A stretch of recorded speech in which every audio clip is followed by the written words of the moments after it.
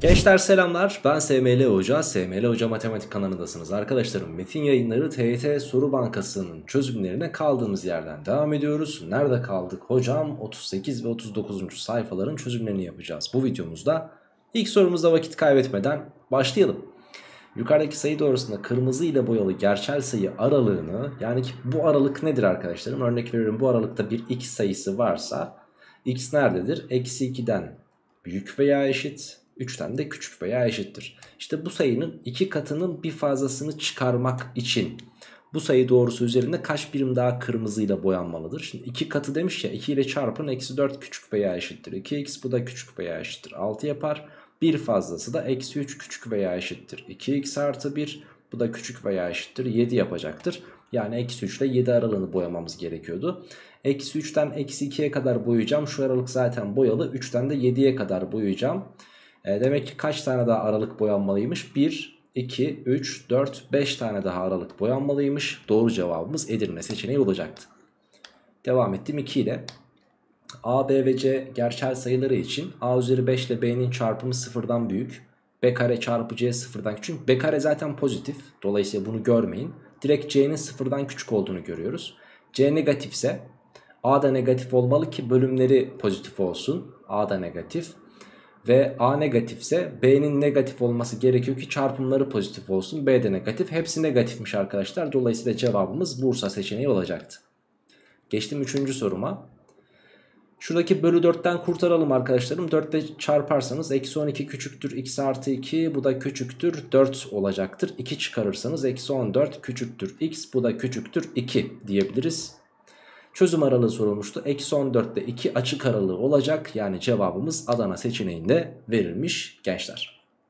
Devam ediyorum dördüncü sorumla. Bu çözüm aralığı sorulmuş. Önce şu kısmı çözelim. x artı 2 6'dan küçükse tabii ki x 4'ten küçüktür.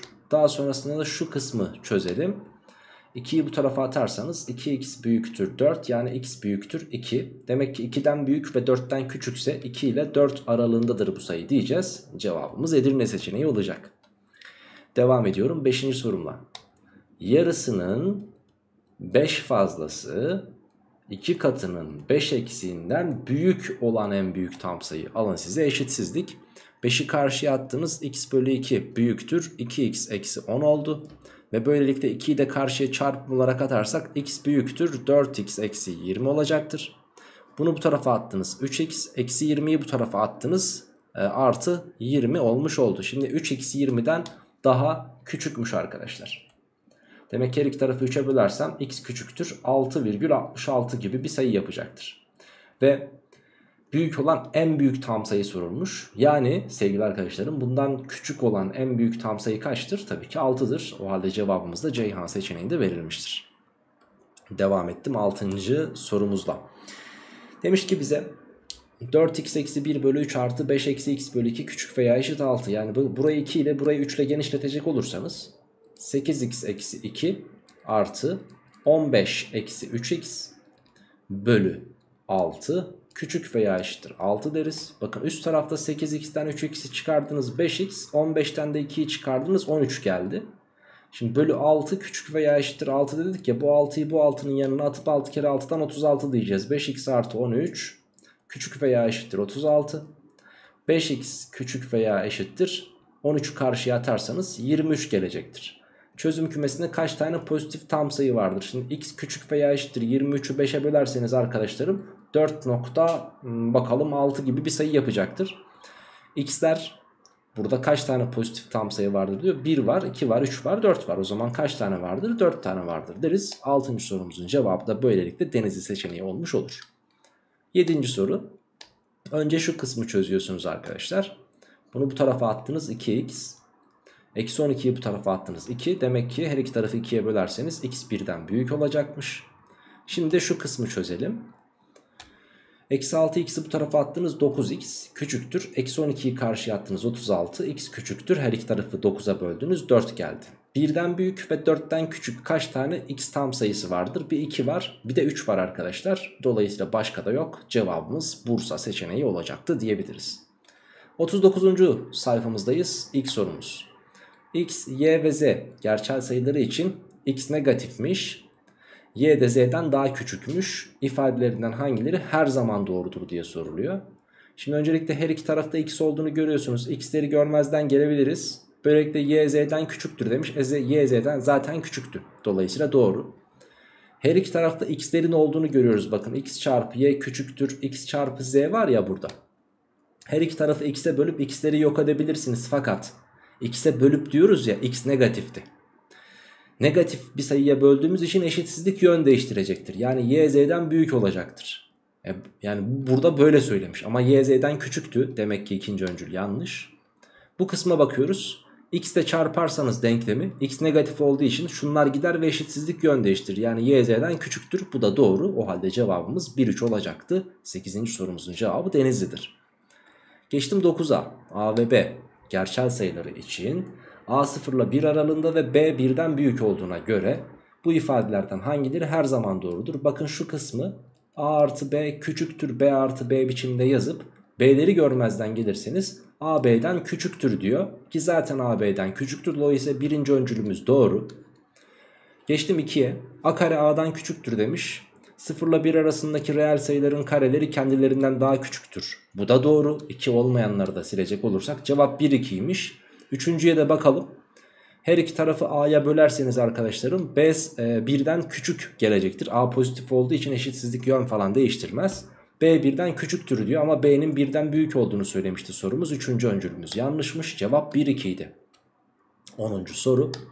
A, B, C ve D gerçel sayıları için A negatif, B pozitif, C ve D de negatif olduğuna göre hangileri her zaman doğrudur diye sorulmuş. A ile B'nin çarpımı negatif arkadaşlar. İkisi e, birisi negatif birisi pozitif olduğu için.